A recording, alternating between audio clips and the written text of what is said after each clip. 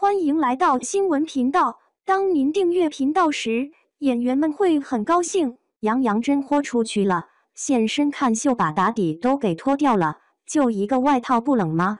杨洋最近也是一直都在拍戏，但是一直都没有爆剧出现，和之前的巅峰时期也是有着很大的差别的。因为杨洋之前作为一个总裁专业户。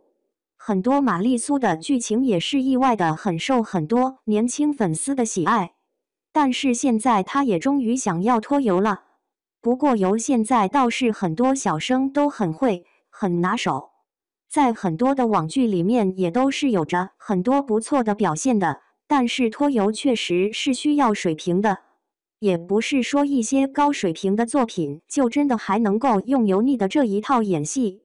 这样简直就是在暴残天物。不过这样的事情，杨洋也不是没做过。之前杨洋也是拿到过很多不错的资源，但是却都没能够好好的证明自己的实力。之前那部《三生三世十里桃花》的电影，更是被吐槽到怀疑人生。最近的杨洋也是真的好久不见的出现在了巴黎看秀的路上，板寸头的清爽也是扑面而来的感觉。其实只要身材在线，穿西装就最能够显身材。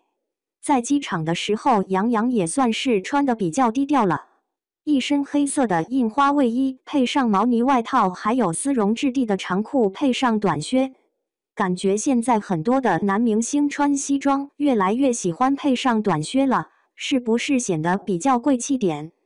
不过现在的杨洋换了发型之后，其实气质上也是有了很大的提升，也完全是 OK 的。不过感觉身材还有脸部的状态，确实也是比起以前好看多了。就是现在的流量还有热度，没有以前巅峰时期的时候那么逆天。李易峰也是一样，都是寻求转型的偶像。转型其实也很难，不过对于杨洋来说，不过是找回以前而已。以前杨洋很多早期的作品都是很有含金量的，但是杨洋却慢慢的走上了总裁之路。现在顶多也算是返璞归真吧。也期待之后杨洋更多的作品还有好成绩吧。毕竟实力认证并不是那么容易就得到的。